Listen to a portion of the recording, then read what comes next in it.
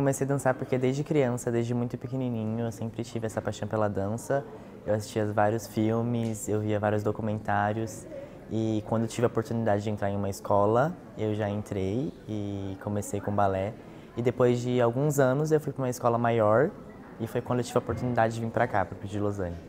Sim, tem vários bailarinos brasileiros que foram uma inspiração para mim e a maioria, alguns já vieram para cá e tem vários. É, eu nasci em Matão, é uma cidade pequena em São Paulo e depois eu fui para Goiânia e estou estudando na escola Basileu França.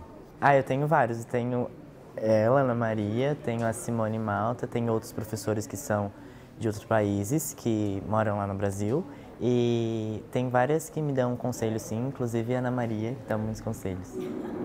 Eu escolhi a Lerkinat porque é um personagem que desde criança me identifico. Eu já dancei quando era mais novo e é um personagem muito engraçado. E o solo livre eu escolhi esse porque eu aprendi muito com ele, ele é muito rápido. Eu nunca tinha dançado no solo tão rápido assim. E depois que eu comecei a ensaiar, ele começou a entrar no meu corpo e agora eu tô fazendo ele melhor. É, essa é a minha primeira vez na Europa, eu tô muito feliz.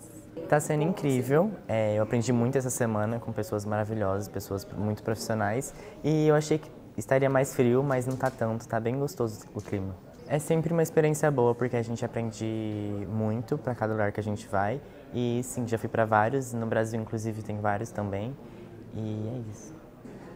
Ah, eu respiro é, e eu penso que é uma coisa que eu amo, então não tem por que ficar nervoso. Ainda não. Ainda vou resolver e ver qual que vai ser.